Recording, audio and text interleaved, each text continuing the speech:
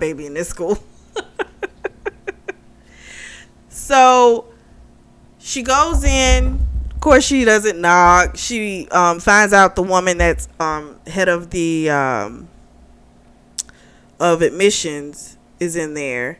She barges into their meeting, and she's like, "I want to know why my kid's not being, you know, you know, not able to be in the school. She's like, I understand, you know, maybe I don't come from you guys' pedigree. She goes into this whole spiel.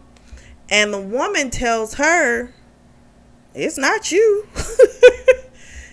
it's your husband. You might want to talk to your husband. And she was like, Oh. so she leaves. And of course, she starts calling Hudson back to back. She doesn't get an answer. So then she drops the kids off at the penthouse with the nanny and she heads to his office. He isn't in his office, but on his desk, he's desk, he's left the letters and the pictures that came from the stalker.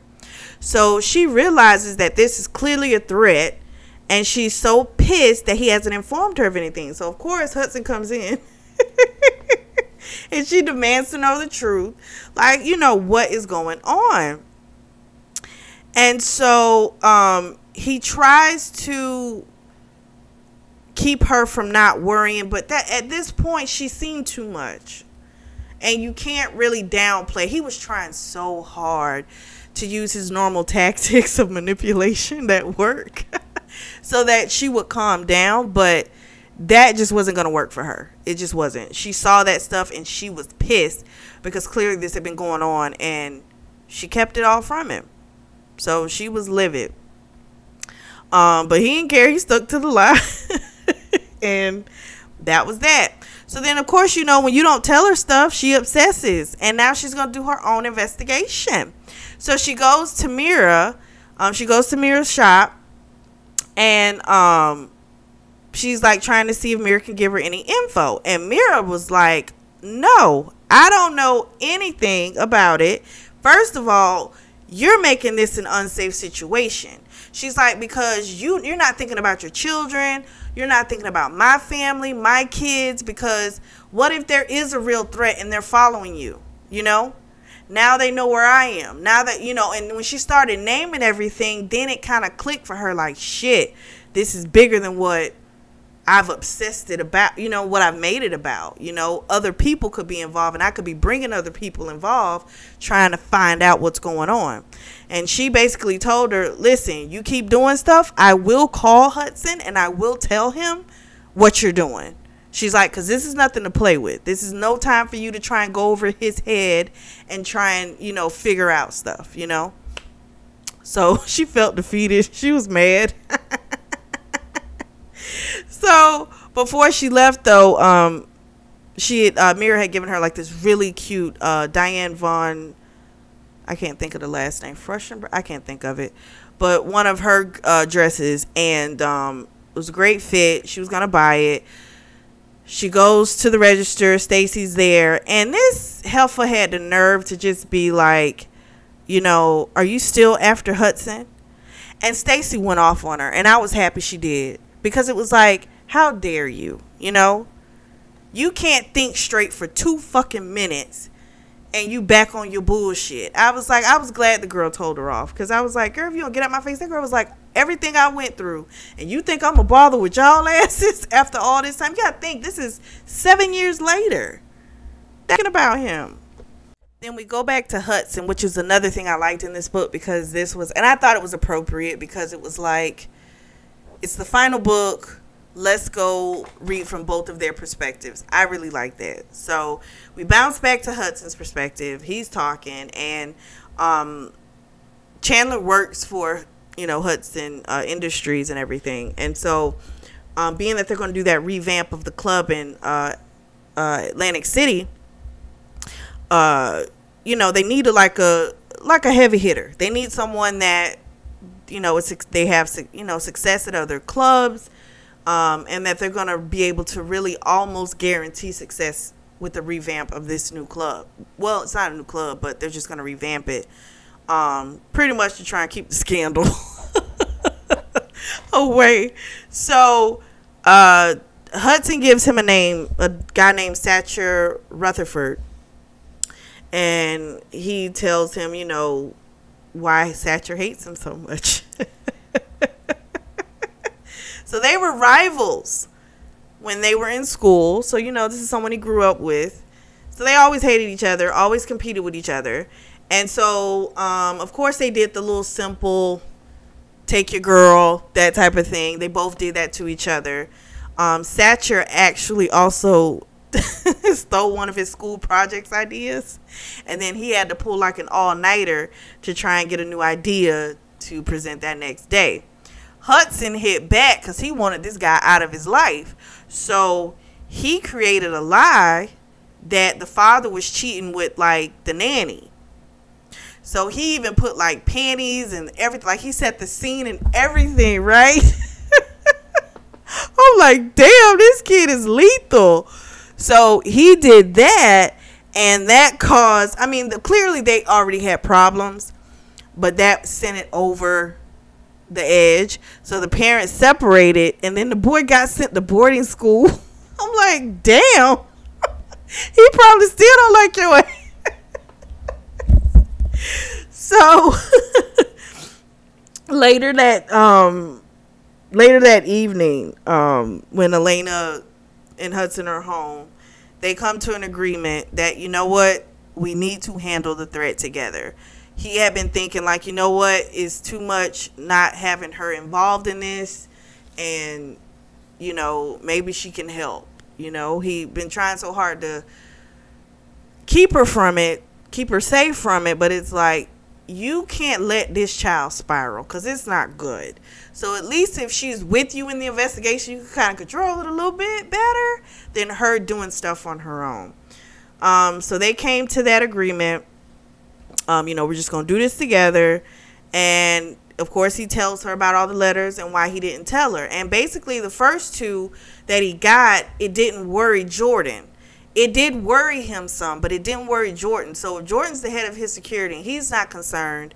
He didn't think it was something that he needed to go and tell her about and put her on high alert. And so then he told her when the third letter came, he was like, you know, that came like six, what was it? The third letter came, I think, six months after she'd had the twins. And that was when her postpartum was like like an all time high. Why the hell would he tell her something like that? She couldn't process it, you know. And so as he begins to tell her why, she does understand, like you know, damn, like yeah, I get why he didn't tell me, you know. And so, um, Alayna, of course, automatically thinks Celia's behind it. I thought that too. You know, I'm like, it's Celia. This helper is doing the long game. It's Celia. And so Hudson, he doesn't really think it's her. And so, but he does agree to like meet up with her because Alayna was insistent. Like, no, we need to meet up with her because it's her. So they meet up with her the next day. And um, when they tell her about it, she looks like super shook. Like, what? You know? And then, of course, she denies any involvement in it. And so Alayna isn't convinced. So she's like, no, nah, it was you. I know you did it. and it was like, you know, she's like, no, I, I wouldn't do that, you know, like, no matter what we've done in the past, like, no, I wouldn't do that. Of course, you know, Alayna doesn't believe her, but Hudson kind of does. And he has known her longer, but we don't know, right? So later on, uh, they receive another red envelope. The kids had been to like a birthday party in a, in the park, and apparently a man brought it up to uh, Mina. I was like, oh shoot! And the note said there is an enjoyment of correctly predicting how people will react. So then I was like, damn, is it Celia? Like, you know, they've done so many things to people. It's like, dang, like who could this be? And so Alayna, you know, she still convinces Celia. And when she gets that letter, she's like, what is the hotel that she's staying in? Because Celia and her husband, they live in England. Um, but because of the engagement, they decided to like extend their stay, throw the engagement party, and then they'll go back home to England. And so she's like, I want the info. And she's like, if you don't get it, you know I'll find it. So you might as well give it to me. So he's like, I'm coming with you. So he goes with her. They find a way to get. Uh, they sneak up because they tell a couple. She's like, "Oh, I'm, I can't find my key," and you know she's good at this, you know, because she's a stalker. So she's good at these type of games. and she even thought in her brain, like, "Wow, like hell, me and him could have played some great games. me stalking him with his manipulation. Oh my gosh!" And she's like, "No, but we're good. We don't need to do that." Um, so they get up there, and he kept telling her, I need you to remain calm. I need you to remain calm. And she heard him, but that didn't even work. That heifer, boom, boom, boom. They open the door. She goes in on Celia, and she's like, "Why would you do this? Like, why would you have? Why would you take this to a child? Like, what is wrong with you?" So all this shouting brings out her husband, and so he's like, "You know what's going on?" And Alayna's like, listen, somebody's terrorizing my family. They're threatening me. And your wife has journals that I think could give us, you know, uh, they used to work together. What? How did she put it? She said they had a business relationship. Um, my husband and Celia, and they have, um, she has information that could possibly help us, and she doesn't want to give it. And so the husband's like, um, I, you know, I assure you, she has nothing to do with it. He's like, but I, we will have, you know, whatever journals, whatever it is you need, we'll have it here by Tuesday. And she's like, all right, thank you. So they leave. So when they leave out, you got to think Hudson's pissed. She's mad because she's like, Hudson didn't have her back. He's mad because she lost control, even though it did get a result. But you know, he don't like that. So they sneak like he takes her like off in the corner, like when they get out of the hotel room, and he goes, he pulls her to the side and he fucks her. It was funny because they're like fucking each other, and he's telling her why he's mad, and she's telling him why she's mad, and I'm like, this is the funniest thing ever, the funniest. Um, so after that whole debacle, um, they get the journals a couple days later. They go back to Celia's um, when the journals arrive. Celia and Hudson are going to read through them. And then they're going to give the names to Alayna. She's going to put them in a spreadsheet because old girl loves a good spreadsheet. So um, while they're there, um, it's Celia's nursing and the baby has a hard time burping. And so um, she, you know, she's like, I have a trick. You know, I can help you. She's like, because I have that same issue with Brent, one of her kids. And so, um, Brett, why did I say Brent? It's Brett because it's a girl.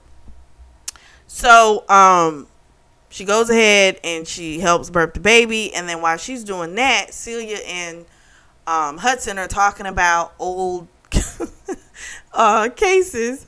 I would call them cases. I don't know what else to call them. So they're talking about an old uh, case where they had um, gotten this new couple, newlywed couple, and they were gonna break them up. So freaking evil. And so they started laughing about it, right? And so Alayna's like, Well, I don't think they would think it was too funny. And then they felt bad and shut up. I was like, dang.